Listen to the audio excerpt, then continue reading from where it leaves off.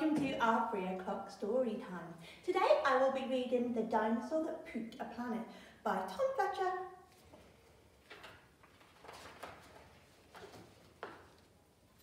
Danny and Dinosaur liked to have fun. Some days they had lots, some days they had none.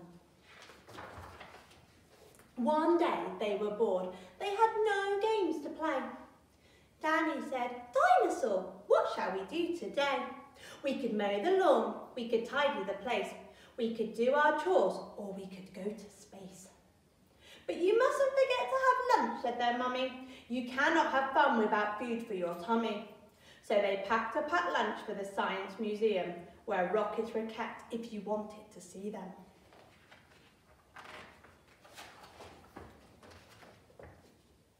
There were hundreds of rockets and spaceship surprises, tall ones and small ones of all shapes and sizes, and one that was ready to launch with a door, big enough for a boy and his pet dinosaur. They ignored all the warnings, they couldn't care less. They pressed all the things they shouldn't have pressed. T minus five, four, three, two, one, ignition. They started their intergalactic space mission. They flew higher than houses and buildings and cranes, much higher than birds, even higher than planes. We're in space, Danny yelled as they floated around, but the dinosaur's tongue made a rumbling sound. Is it time to have lunch? Danny looked at his watch. Then he looked all around for the dino's lunchbox. Danny started to worry, then started to panic. They'd left their packed lunches back home on their planet. So with no food on board, not the smallest of crumbs, a disastrous dinosaur feast had begun. It gobbled up gadgets and gizmos galore. Nothing was safe from the space dinosaur. Robots and ray guns and blinkering red blinkers, eating things thought up by NASA's great thinkers. The hyperdrive gamma reactor machine was swallowed along with the space tractor beam.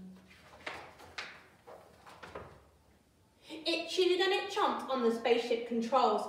The rocket was dotted with dino tooth holes. Inside it was bare. The spaceship was empty. Outside there were more things to eat. There were plenty. It broke down the door with a cool ninja chop. Out in space, dinosaurs are much harder to stop. It chopped on the moon like a big chunk of cheese, then shoveled even more in its mouth with a squeeze. It munched on the Martians for Mars and their cats. Their cats are like ours, but their cats wear cool hats. Satellite Saturn and six supernovas, shape-shifting saucers, and even seven space rovers. It guzzled five gallons of fuel from the tank, and Danny's jaw dropped as he watched what he drank. With a crunch and a crack and a nom nom nom nom, in one dino gone, their rocket was gone. Now nothing was left. All Danny could see was a fat dinosaur where the rocket should be. And so they were stranded with no way back home. Just Danny and Dinah in space, all alone. Now Danny was crying. He cried and he cried. He cried and his tears filled his spacesuit inside. Unless they were going to stay there forever, the dinosaur needed to do something clever. With the feeling of guilt deep down in its gut, its brain brewed a plan involving its butt. It knew there was only one thing it could do. To get them back home, it needed to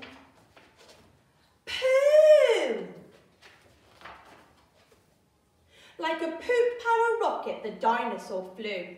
Dan hopped on its back and he watched as it pooed. It pooped out the rockets and ray gun and blinkers. The things NASA's thinkers thought up were now stinkers. It pooed out the moon, it pooed out the stars, it pooped the space rovers and Martians from Mars. When Danny looked back, he could see a poop trail from far out in space to the dinosaur's tail. They headed for Earth and they started to orbit. It pooped on the clouds, but the clouds just absorbed it. They flew past the buildings and streets of their town, leaving their houses all smelly and brown, and finally landed back on the ground. Hooray, Danny cried, we are home safe and sound. They looked to the sky and the things that were pooed had formed a poop to the moon.